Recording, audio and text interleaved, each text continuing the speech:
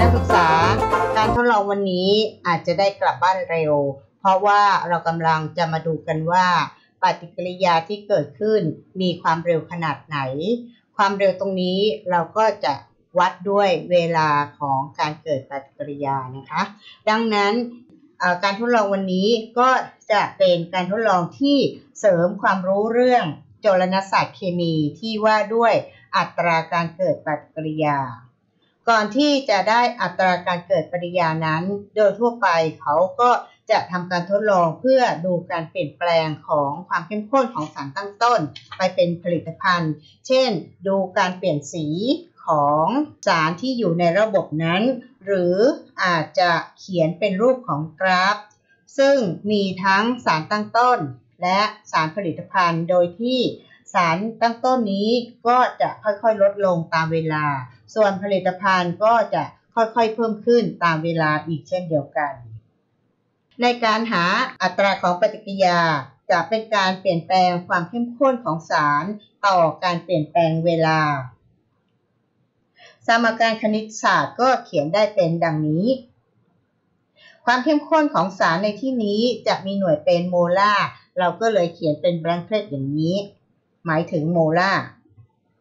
ซึ่งเป็นความสัมพันธ์ระหว่างเนื้อสารในหน่วยที่เป็นโมล กับปริมาตรของสารที่นำมาทำปฏิกิริยากัน การเปลี่ยนแปลงความเข้มข้นของสารตั้งต้นนะคะจะมีเครื่องหมายลบอยู่ข้างหน้า เพราะสารตั้งต้นลดลงตามเวลา ส่วนความเข้มข้นของผลิตภัณฑ์จะมีเครื่องหมายเป็นบวกในกรณีที่ปฏิยานั้นไม่เป็นหนึ่งต่อหนึ่งอย่างเช่น สมการนี้ แสดงว่าไดไนโตรเจนเพนต็อกไซด์ตัวนี้ 2 โมล สลายตัวให้ไนโตรเจนไดออกไซด์4 โมล และออกซิเจน 1 โมล เพราะฉะนั้นจากกราฟตัวนี้เราก็จะพบว่า การเกิดไนโตรเจนไดออกไซด์ตัวนี้ มีค่ามากกว่า การเกิดของออกซิเจน 4 เท่า หรืออาจบอกได้ว่า อัตราการเกิดออกซิเจน เป็น1ส่วน4เท่าของการเกิดไนโตรเจนไดออกไซด์หรือเป็นครึ่งเท่าของการสลายตัวของไดไนโตรเจนเพนต็อกไซด์ก็ได้ จากสมการตรงนี้ บอกเราว่าเราสามารถติดตามความเข้มข้นของสารใดสารหนึ่ง แล้วก็จะได้อัตราการเกิด ปฏิกิริยาเช่นเดียวกัน จากผลสรุปนี้เราจึงได้ข้อคิดว่า เมื่อไหร่ก็ตามที่เรามีสมการเคมี เช่น สาร A ทำปฏิกิริยากับสาร B แล้วได้สาร C ออกมา สมการที่ดูแล้วจะมีค่า A เล็ก B เล็ก และ C เล็ก เพื่อบ่งบอกว่าสัมประสิทธิ์บอกจำนวนมวลของแต่ละตัวมีค่าเท่าไหร่ จะได้กดอัตราหรือเรทเป็นไปตามสมการนี้ โดยที่เครื่องหมายลบก็จะหมายถึงสารตั้งต้น ค่า m และ n จะแสดงถึงอัตราการเกิดปฏิกิริยาขึ้นอยู่กับสารตั้งต้นอย่างไร หรือเราเรียกว่าอันดับของปฏิกิริยา m คือเมื่อเทียบกับ a และอันดับของปฏิกิริยา n เมื่อเทียบกับ b ค่า m และค่า n นี้จะได้จากการทดลองเท่านั้น โดยที่เราจะต้องกำหนดการทดลองอย่างน้อย 3 การทดลอง เช่น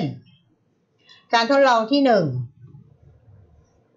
เป็นการกำหนดให้ความเข้มข้นของ B เท่ากันแล้วหาเรทออกมา ส่วนการทดลองที่ 2 กับ 3 เป็นการกำหนดความเข้มข้นของ A ให้เท่ากัน แล้วก็ vary หรือปรับเปลี่ยนความเข้มข้นของ B แล้วหาเรทออกมา ในที่สุดเราก็จะได้ค่า M และ N ตัวอย่าง การคำนวณ การทดลองที่ 1 เราปรับเปลี่ยนหรือ vary ความเข้มข้นของ A และ B เป็น 1 กับ 3 หลังจากที่ปฏิกิริยาสิ้นสุดแล้ว เราหาค่าอัตราได้เท่ากับ5นะคะสมการที่การทดลองที่ 2 และ 3 ก็เหมือนกัน เราแวลี่ทั้ง A และ B แล้วก็หาอัตรามาได้เท่ากับ 10 และ 40 ตามลำดับ ในการหาค่า m และ n เราก็จะแทนค่าเรทตัวนี้ เป็นแต่ละสมการ เช่น ในการทดลองที่ 1 เราก็จะได้อัตราหรือเลทเท่ากับ 1 ยกกำลัง m คูณกับ 3 ยกกำลัง n ในสมการที่ 2 ก็คือ 10 เท่ากับ 2 ยกกำลัง m คูณกับ 3 ยกกำลัง n และ การทดลองที่ 3 เราก็จะได้ 40 เท่ากับ 2 ยกกำลัง m คูณกับ 6 ยกกำลัง n อ้าวลืมค่า k จะเห็นว่าในแต่ละการทดลองเราจะมีตัวแปร 3 ตัวก็คือค่า k ค่า m และค่า n เราก็จะใช้หลักการทางคณิตศาสตร์ เพื่อเลือกสมการแล้วกำจัดตัวแปรบางตัวทิ้งไป เราจึงนำ เอาสมการการทดลองที่ 2 หารด้วยการทดลองที่ 1 เราก็จะได้ 10 หารด้วย 5 เท่ากับ k 2 ยกกำลัง m คูณกับ 3 ยกกำลัง n หารด้วย k 2 ยกกำลัง m คูณกับ 3 ยกกำลัง n ก็จะได้ทางซ้ายก็ได้เท่ากับ 2 ทางขวา k ตัด k 3 ยกกำลัง n ตัด 3 ยกกำลัง n เราก็จะได้ 2 ยกกำลัง m นะคะ เพราะฉะนั้น m ตัวนี้ก็จะมีค่าเท่ากับ 1 นั่นหมายความว่าขณะนี้เราได้ค่านี้เท่ากับ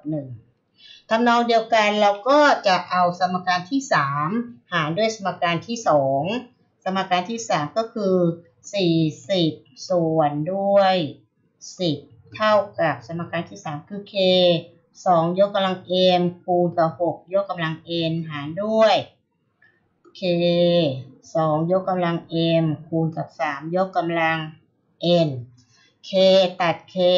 2ยกกำลัง n ตัดกันในที่สุดเราก็จะได้ 4 เท่ากับ 6 ยกกำลัง n หารด้วย 3 ยกกำลัง n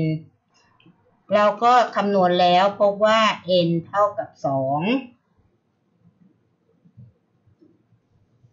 ดังนั้นจะได้กฎอัตราของปฏิกิริยาเป็นไปตามสมการนี้ โดยที่อัตราเร็วของปฏิกิริยาขึ้นอยู่กับสาร A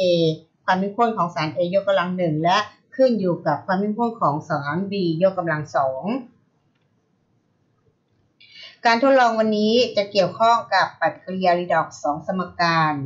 หากกล่าวถึงปฏิกิริยารีดอกซ์ แสดงว่าสารคู่ใดคู่หนึ่ง จะต้องมีการเปลี่ยนแปลงเลขออกซิเดชันนักศึกษาต้องเข้าใจและบอกได้ว่า สมการที่เห็นนี้อะตอมใดเปลี่ยนเลขออกซิเดชันเมื่อมีการเปลี่ยนเลขออกซิเดชันแล้วอะตอมไหนเกิดออกซิเดชันและอะตอมไหนเกิดรีดักชันความรู้นี้คือความเข้าใจไม่ใช่ความจำดังนั้นนักศึกษาต้องเข้าใจอย่างแท้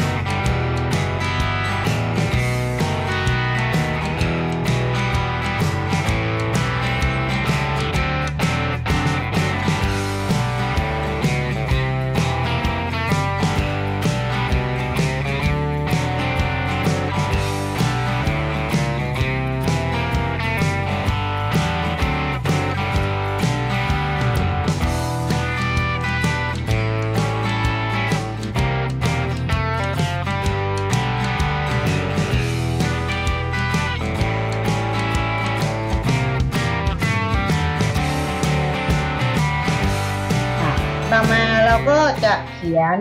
สมการอัตราได้ตามนี้นะคะ อัตราของสองอันนี้ จะเห็นว่าทั้งสองสมการนี้จะมีตัวเชื่อมก็คือการเปลี่ยนแปลงของ IOD นะคะดังนั้นสองสมการนี้จึงสามารถหาเรทที่มีความสอดคล้องกันได้ ในการหาอัตรา การเกิดปฏิกิริยา เราอาจจะดูจากการเปลี่ยนแปลงของสี ซึ่งจะเป็นสีที่เพิ่มขึ้นหรือลดลงก็ได้ หรือดูความขุ่นของสารละลาย ปริมาณตะกอนที่เพิ่มขึ้นหรือน้อยลง ในบางปฏิกิริยามีการเปลี่ยนแปลง pH เพราะฉะนั้นเราก็ดูติดตามความเข้มข้นของสารตัวใดตัวหนึ่ง โดยใช้ pH ปริมาตรของแก๊ส หรือเมื่อนักศึกษาเรียนปีสูงขึ้น ได้เรียนถึงเครื่องมือที่วัดการดูดคืนแสงก็สามารถเอามาใช้ได้ ในการทดลองวันนี้จะเป็นการดูสีของสารละลายนะเพราะว่าในปฏิกิริยานี้ได้อะดีนเกิดขึ้นมาอะดีนนี้มีลักษณะเฉพาะของมันก็คือ เมื่อทำปฏิกิริยากับน้ำแป้งจะได้เป็นสารสีน้ำเงิน เพราะฉะนั้นถ้าหากอยากจะดีเทคว่ามีอะดีนหรือไม่ ก็จะใช้น้ำแป้ง ปัจจัยที่มีผลต่ออัตราการเกิดปฏิกิริยานะคะ ก็มีหลายข้อ วันนี้ในเรื่องของความเข้มข้น เราก็จะนำมาหาค่าของอันดับปฏิกิริยา ส่วนอุณหภูมิเราก็ทำเหมือนกันเพื่อที่จะหาค่า activation energy หรือพลังงานกระตุ้นของปฏิกิริยาที่เราทำอยู่ นอกจากนี้เรามันก็ยังมีตัวเร่งตัวหน่วงหรือตัวยับยั้งที่ทำให้อัตราการเกิดปฏิกิริยา เพิ่มขึ้นหรือลดลงหรือไม่เกิดเลยก็ได้ การทดลองนี้จะมีการใช้ขวดรูปชมพู่ขนาด 250 ml ซึ่งใช้เป็นขวดทำปฏิกิริยา ส่วนขวดรูปชมพู่ขนาดเล็ก คือขนาด 50 ml เราจะใช้เป็นสารตัวที่เข้าทำปฏิกิริยา ในขวด 250 เราก็จะมีสารที่ทำปฏิกิริยากับตัวเข้าทำปฏิกิริยา แล้วก็มีตัวหนึ่งที่เราเติมเข้าไป ส่วนน้ำแป้งนี้ถือว่าเป็น indicator เมื่อเราทำปฏิกิริยาก็คือเทผสมกันปฏิกิริยาที่ 1 จะเกิดขึ้นทันที และทันทีที่มันเกิด ไอโอดีนเกิดขึ้นไอโอดีนนี้ก็จะเข้าทำปฏิกิริยากับไทโอซัลเฟตนะคะได้เป็นสารที่ไม่มีสี เพราะฉะนั้นช่วงนี้เวลาก็ยังจับได้ จนกระทั่งไทโอซัลเฟตหมดไปไอโอดีนที่เกิดขึ้นก็จะทำปฏิกิริยากับน้ำแป้งได้เป็นสารสีน้ำเงิน ตรงนี้ก็ถือว่าปฏิกิริยาสิ้นสุดนะคะและการเติมสารตัวนี้เข้าไป จะช่วยให้เราสามารถจับเวลาได้ ปฏิกิริยานี้เราจึงเรียกว่า clock reaction และเมื่อสังเกตสมการเคมี เราพบว่ามีสารประกอบซัลเฟอร์กับออกซิเจน หลายรูปแบบมาก ขอให้นักศึกษาสังเกตและและดูชื่อของมันด้วย ดังนั้นในการจับเวลาเพื่อหาอัตราการเกิดปฏิกิริยา ก็จะเริ่มจากการผสมสารไอโอไดด์นะคะ เข้ากับเปอร์ออกซีไดซัลเฟตซึ่งก็จะได้ไอโอดีนมาไอโอดีนนี้ก็จะทำปฏิกิริยาทันทีกับไทโอซัลเฟตตอนนี้เรายังมองไม่เห็นการเปลี่ยนแปลงใด ๆ เป็นยังคงเป็นสารละลายใส จนกระทั่งไทโอซัลเฟตทำปฏิกิริยาหมดไอโอดีนที่เกิดขึ้นก็จะทำปฏิกิริยากับน้ำแป้ง แล้วได้สารสีน้ำเงิน ตรงนี้ถือว่าเราสิ้นสุดของการบันทึกเวลา ในหน้านี้จะบอกให้ฟังว่าเกิดอะไรในขวดลูกชมพู่ใบนี้ ซึ่งในขวดลูกชมพู่นี้ก็จะมีไทโอซัลเฟต มีไอโอไดด์มีไทโอซัลเฟต แล้วก็มีน้ำแป้ง เพราะฉะนั้นการเริ่มต้นของปฏิกิริยาก็จะเป็นแบบนี้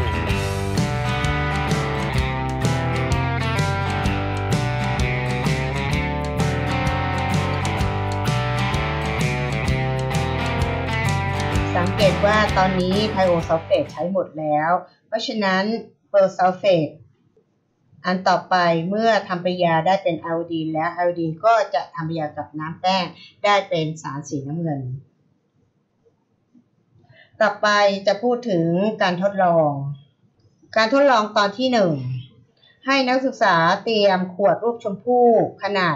250 และ 50จำนวน 5 คู่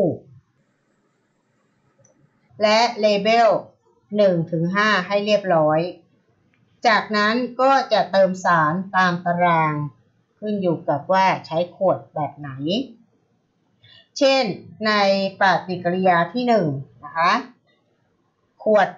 250 ml ก็จะเติมโพแทสเซียมไอโอไดด์20 ml แล้วก็ไทโอซัลเฟต 10 ml น้ำแป้ง 10 หยด ในขวดลูกชมพู่ 50 ml เราจะเติมแอมโมเนียมเปอร์ซัลเฟต 20 ml สังเกตว่าในการเขียนรายงานครั้งนี้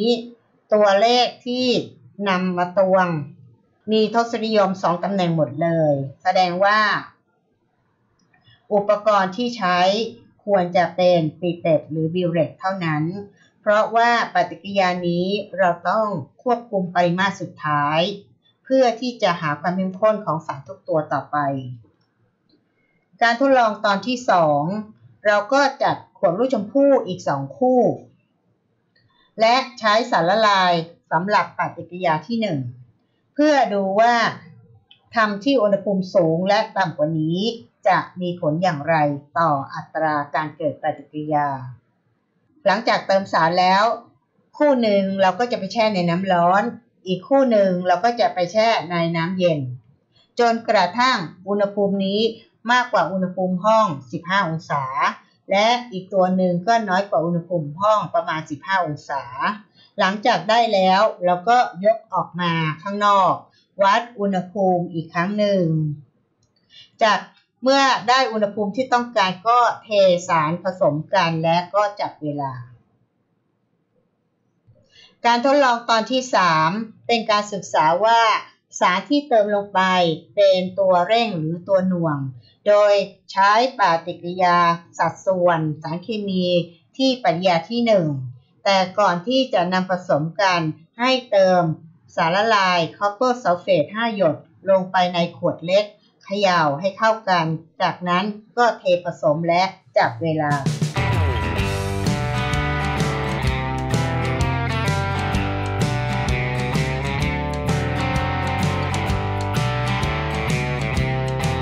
การคำนวณวันนี้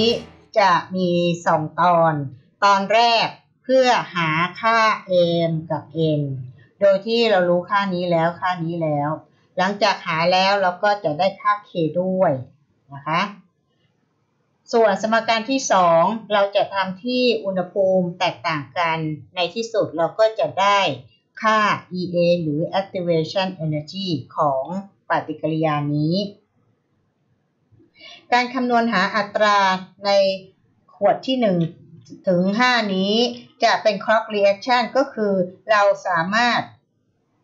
ใช้สมการนี้ในการตรวจสอบปฏิกิริยา ซึ่งอยู่ในปริมาตร 50 ml ได้ เพราะฉะนั้นในปริมาตร 50 ml นี้ ถ้าเราคำนวณแล้วได้ไทโอซัลเฟตตัวนี้ค่ะ เท่ากับ x โมลาร์เราก็จะได้ความเข้มข้นของไอโอดีนโดยปริยาย จากสมการที่ดูแล้ว ดังนั้น เราก็จะได้อัตราการเกิดปฏิกิริยาเท่ากับ x ส่วน 2t ซึ่ง t ตัวนี้ก็คือเวลาที่ใช้ทำปฏิกิริยา สมการทางคณิตศาสตร์ของ rate ก็จะเป็นไปตามสมการนี้ กลับมาดูตารางอีกครั้งหนึ่งที่ต่างๆตรงนี้เป็นค่าที่ได้จากการทดลองนะคะ ถ้าเราหาความเข้มข้นของไอโอไดด์ ความเข้มข้นของเปอร์ซัลเฟตและความเข้มข้นของไทโอซัลเฟตได้นะคะเราก็จะหาอัตราได้ หน้านี้เป็นตัวอย่างการคำนวณหาความเข้มข้นของ A1 ซึ่งเป็นความเข้มข้นของ KI เรานำ KI ความเข้มข้น 0.2 โมลาร์ มาปริมาตร 20 ml แล้วก็เทเข้าไปทำปฏิกิริยาตรงนี้ จากข้อมูลตรงนี้ค่ะ เราก็จะได้จำนวนโมลของ Ki หรือจำนวนโมลของไอโอไดนั่นเองนะคะ ตามนี้ ตอนนี้เนื้อสารจำนวนนี้ที่เราเอามา มันอยู่ในขวดทำปฏิกิริยาปริมาตรทั้งหมด 50 ml ดังนั้นเราก็ต้องคิดก่อนว่าในปริมาตร 50 ml เนี้ยคิดเป็นไอโอไดเท่าไหร่ก็ใช้บัญญัติยางอีกเช่นเดียวกัน เราก็จะได้ค่า A1 มา ส่วนค่า B และค่า S ก็คำนวณโดยวิธีเดียวกันนะคะขึ้นอยู่กับว่าแต่ละตัวเนี้ยมันมีความเข้มข้นเท่าไหร่ก็เปลี่ยนไปเล็กน้อย